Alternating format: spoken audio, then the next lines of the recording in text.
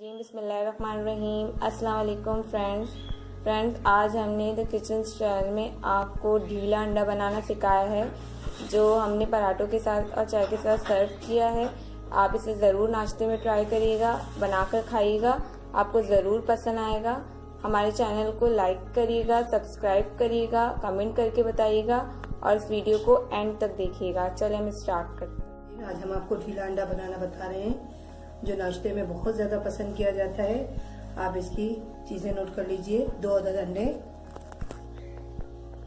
एक अदद प्याज कटी हुई, हरी मिर्च, तेल, नमक ब्लैक पेपर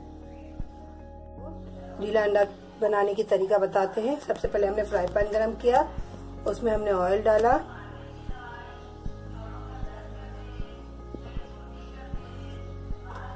ऑयल हमारा गर्म हो जाए, उसके बाद हम इसमें अपने प्याज डालेंगे।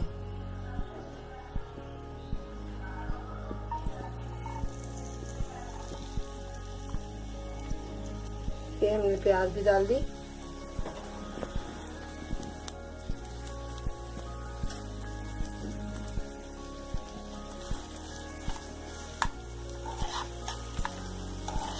अपने प्याज को ब्राउन होने के लिए थोड़ा रख दिया। और इसी में हम जो है आपको जो हरी मिर्ची हमने काटी थी, वो भी हम इसी में इसी प्याज में डाल देंगे।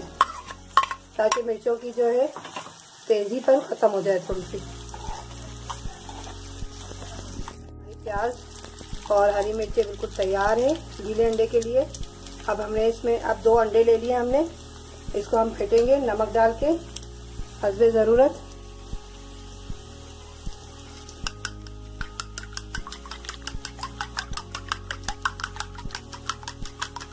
और अब हम इस प्याज में डाल देंगे। देख लीजिए किस तरीके से मैं डाल रही हूँ।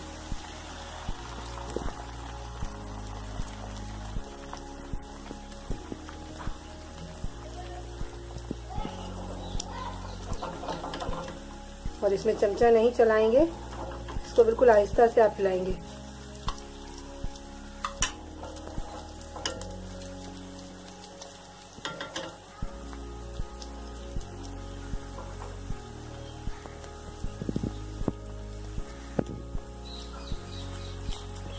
ऐसा कलर आ गया इस अंडे में।